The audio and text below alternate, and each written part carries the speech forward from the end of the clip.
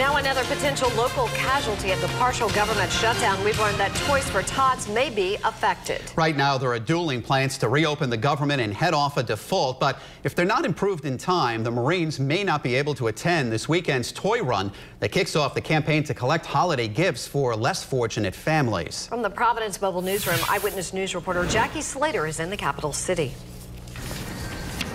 Right now, this is just a big empty parking lot, but come Sunday, October 20th, it will be packed with thousands of people here to kick off the Toys for Tots campaign. But if the government can't get it together, a key part of that celebration might be missing.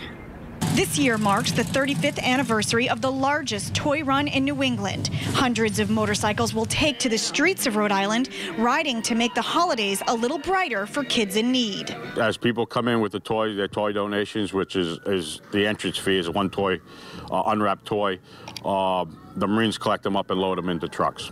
This year, the run is sponsored by the Leatherneck Motorcycle Club. They expect a huge turnout, lots of toys, but the government shutdown means no Marines at the event, and the trucks are staying behind closed gates.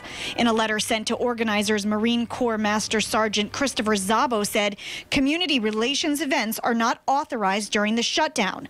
No Toys for Tots events and no color guards. In the event that they don't show up, we'll take their place and we'll collect up the toys, and we have our own vehicles. The Marines say while they can't be at the events, they'll still be collecting donations at their headquarters. Master Sergeant Zabo released the following statement We are doing everything we possibly can to make sure the children get toys.